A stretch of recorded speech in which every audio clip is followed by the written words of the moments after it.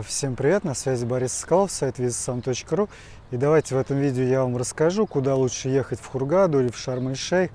Это два самых известных египетских курорта, куда в основном и ездят все отдыхать россияне, украинцы, белорусы все русскоязычные туристы. Итак, давайте по порядку. Смотрите, погода. В Шарм-эль-Шейхе погода чуть теплее, чем в Хургаде на 1-2 градуса. И в Шарм-эль-Шейхе чуть меньше дуют ветра. Поэтому смотрите, в Египте самый классный сезон для отдыха это, допустим, с середины марта по середину июня. Летом очень жарко, зимой достаточно прохладно.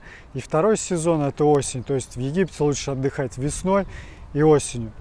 Так вот, если вы едете весной и осенью, в принципе, разницы особо никакой. Можете ехать туда и туда. Но вот если вы едете зимой отдыхать, в Египте дуют очень-очень сильные ветра. И поэтому в Хургаде они дуют еще сильнее, и здесь прохладнее. Поэтому, если вы хотите ехать купаться в более теплом море, хотя по мне и в Шарм-эль-Шейхе, в Хургаде зимой оно прохладное, то едьте в Шарм-эль-Шейх. И наоборот, летом, когда жара в Хургаде, вот э, из-за того, что дуют более сильные ветра и чуть попрохладнее, жара ощущается вот не так сильно. Вот я сейчас иду, например, ветер обдувает, очень приятно, если бы ветра особенно днем не было, было бы очень-очень-очень жарко и некомфортно. Вот. Вообще, когда лучше ехать в Египет, я записал отдельное видео. Посмотрите, здесь я коротко сказал о погоде на двух этих курортах. Море.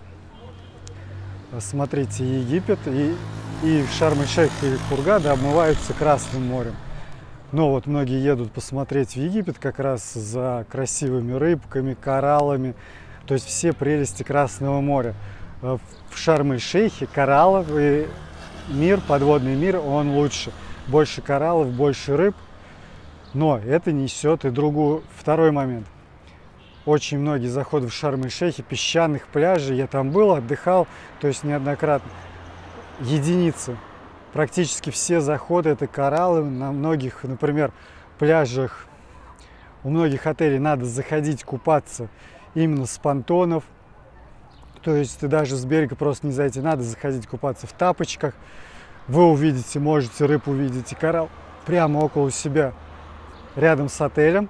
Но песчаных пляжев с классным заходом вы там очень сильно, ну, вы там не найдете. Или ну, вам надо выбирать отель специально, который оборудовал такой пляж. Там есть несколько отелей, но это надо очень-очень сильно поискать.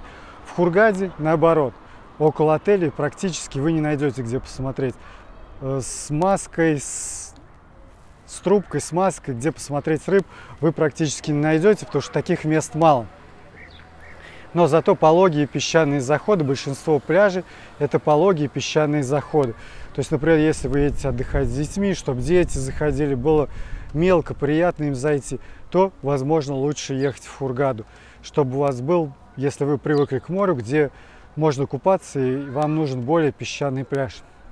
Но и в Хургаде также не переживайте, допустим, вы поехали в Хургаду, если вы захотели посмотреть рыб, что в Хургаде, в Шарм-эль-Шейхе. Можно выехать на яхтах, прогулки стоят от 15 до 30 долларов, и вас вывезут в открытое море к этим коралловым рифам, где много рыб, и вы покупаетесь. Но в Шарм-эль-Шейхе они есть и рядом с отелями, а в Хургаде нету. Вот такая вторая особенность моря.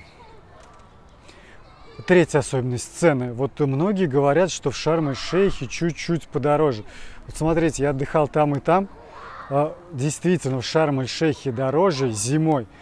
Но это случается из-за того, что, как я вам уже объяснял, в Шарм-эль-Шейхе а, зимой более теплая погода. Поэтому общие цены на туры, на отели дороже, чем в Хургаде.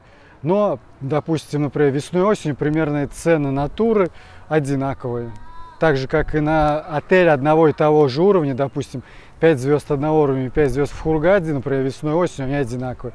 Но зимой, да, в Шарм-эль-Шейхе будет дороже. И наоборот, зимой едут в Хургаду очень многие люди, которые хотят, наоборот, более дешевого отдыха. Очень бывают часто горящие туры, э, там э, прям очень даже дешевые, по очень приятным ценам.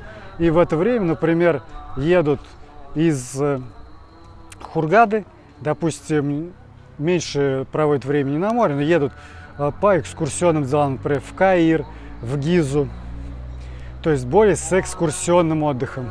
Какая еще есть особенность отелей? Вот чем, например, Хургада от Шарм-эль-Шейх отличается? В Хургаде практически все отели, вот что дешевые, что дорогие, 4-5 звезд. Вот я специально вам показал, вот они, вон, вон там. Они практически все расположены на первой линии, либо ну максимум перейти через дорогу. То есть внутри города отелей нету. В Шарм-эль-Шейхе в основном четверки и пятерки расположены, допустим, на первой линии, даже пятерки какие-то хорошие, шикарные. Но бывает еще вторая, третья береговая линия, то есть отели попроще классом, они могут быть расположены, допустим, в 5 в 10 минут ходьбы до моря. На некоторые из отелей даже могут привозить, например, на специальном автобусе, трансфере. В Хургаде такого нету. Тут, тут вот я иду вот как вы видите, по улице Мамша, вот э, там стоят отели, отели, они все на первой береговой линии, и поэтому в Хургаде, то есть даже если вы возьмете дешевый отель, это будет близко к морю. Но опять, когда я жил в Шарм-эль-Шейхе, мне даже нравилось прогуляться, я хотя жил в четверке, мне прогуляться там, честно, не знаю, эти третьи, вторые линии, пять минут до моря прогуляться, мне даже было за счастье, чтобы не только находиться в отеле, есть, кушать и пройтись там 10 метров. То есть для меня это проблем не было. Но э, для кого-то это важно, особенно, ну, может, для пожилых людей, для тех, у кого проблемы с передвижением. Так что вот тоже имейте эту особенность в виду. Да, вот еще в Хургаде расположен, например, для дайверов, можно посмотреть не только там, допустим, кораллы, рыбы, но еще есть затонувший корабль с машинами, там, с военными машинами, с техникой, паром затонул, Цислигорн. Вот, надеюсь, я правильно вы, выговорил его название. Думаю, кому интересно будет, э, те посмотрите. И вот тоже можно посмотреть. Кстати, вот вы за мной видите, что в Хургаде, что в Шарм-эль-Шейхе. Есть сейчас заброшенные магазины, заброшенные отели. То есть э, ковидные времена, времена кризиса прошлись и по этим курортным египетским городам. Вот смотрите, в основном по ценам, то есть, ну, может, в Шарм-эль-Шейхе чуть цены, допустим, а, э, поменьше для тех, вернее, повыше для тех, кто там живет. Потому что в Хургаде, например, это более такой город, где живут в том числе многие египетские жители. Есть, например, рынки овощные, есть большие супермаркеты, есть рыбные рынки где покупают еду местные, там она дешевле, потому что в Шарм-эль-Шейхе таких мест нет. Это в целом курортный город. Но, допустим, вот я гуляю на улице Мамши, и, например, также буду гулять в Шарм-эль-Шейхе, то есть в курортных местах цены в кафе примерно одинаковые. То есть, ну, турист навряд ли поедет на рынок, на овощной рынок в Дахар, допустим, чтобы купить там овощи подешевле. Или там будет искать супермаркет, чтобы купить еду подешевле. Он берет отель, все включено, все кушает в кафе. Поэтому для обычных туристов вот этой сильной разницы, ну, разницы в ценах я бы сказал, что нет. Вот еще один важный момент – экскурсионный отдых. Допустим, из Хургады удобнее ездить по основной достопримечательности именно самого Египта. Смотрите, в, Каи, в Каир из Хургады ехать, допустим, 5 часов, из Шарм-эль-Шейх чуть подальше 6. То есть особой разницы нет. В принципе, можно съездить и из Хургада, и из Шарм-эль-Шейха на пирамиды Гиза. Каир – это как раз вот известные пирамиды Гиза, пирамиды Хеопса, пирамиды Хифрена. Ну, одно из восьми чудес света, одна из главных достопримечательностей Египта. Вот, но, например, в, если вы хотите поехать, есть еще одна классная достопримечательность, тоже очень известная, историческая, это город Люксор. Там Карнакский храм, город мертвых, очень большая архитектура. Очень красивое место, я там был, рекомендую съездить, если есть возможность. То туда то лучше ехать из именно Хургады.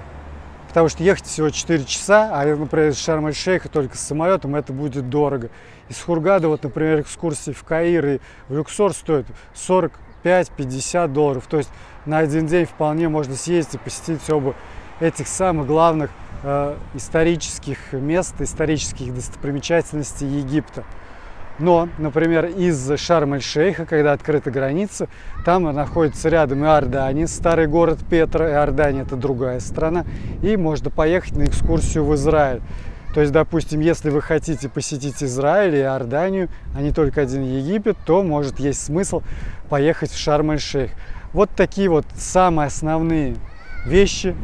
Вот в чем разница этих городов. В основном, в основном В остальном, что этот курортный египетский город, что другой курортный египетский город, каких-то разниц для туристов нету.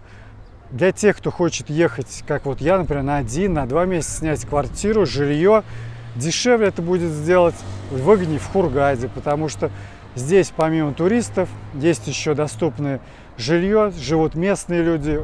В целом, жизнь, например, если покупать на рынках, в супермаркетах меньше, цена на аренду жилья на 1-2 месяца пониже. То есть для зимовщиков, вот я сюда на зиму прилетел, для тех, кто хочет ехать на 1, на 2, на 3 месяца в Хургаде, будет жить выгоднее. Ну все, если вам понравилось это видео, ставьте лайк, подписывайтесь на наш канал и до встречи в следующих видео. Здесь я постарался рассказать коротко, без воды, самые главные отличия Хургада от Шарм-эль-Шейха и куда кому из вас лучше ехать. Пока-пока.